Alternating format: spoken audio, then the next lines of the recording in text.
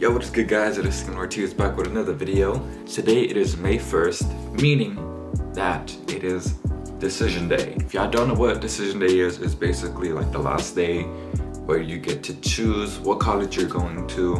Um, and it's like a big deal. Now, let me tell you guys where I messed up.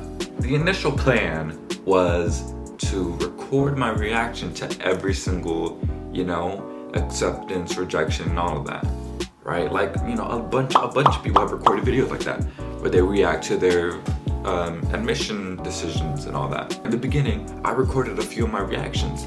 However, I got lazy. But regardless, I decided to record this video to let you guys know I'm gonna be headed towards for the next four years. So up on the screen, you will see every college that I was accepted to, waitlisted, and rejected from. Uh, in total, I applied to 13 colleges, I believe. I had a couple in New Jersey, because I live here but those are more like my safety ones. I knew from like the very beginning that I wanted to go far. I should mention that I want to become a film major, a film production major, you know, making movies and all that. And so my dream school was University of Southern California because they're like the number one school for that. Plus, I've always envisioned myself like living in California and all that. However, I was rejected.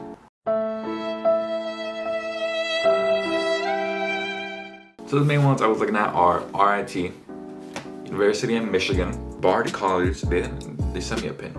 I appreciate the pin though, you know. And then University of Miami as well.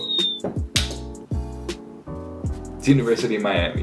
And after much careful deliberation, I decided that the place that I'm gonna spend the next four years of my life are going to be in.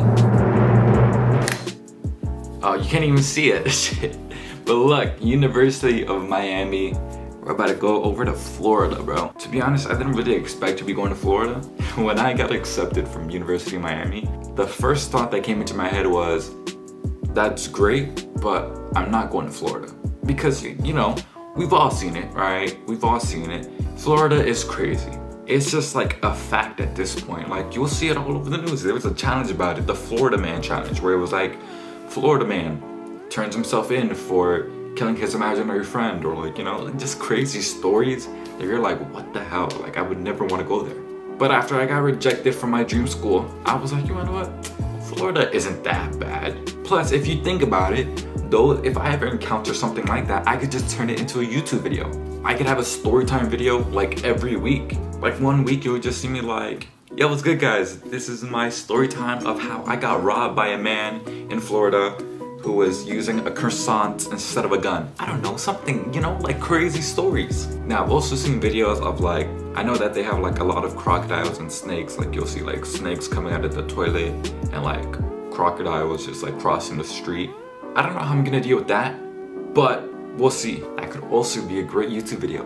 I'm gonna try to make a lot more videos on like, on like my journey there. Um, and you know make memories here while I'm still here in New Jersey. That's gonna be done for me. Make sure to like, subscribe. But yeah, hopefully I, I, I plan to bring you guys on this journey. Hopefully I can keep making YouTube videos and going live on Twitch. Also check out my Twitch, link in the description. Come on now.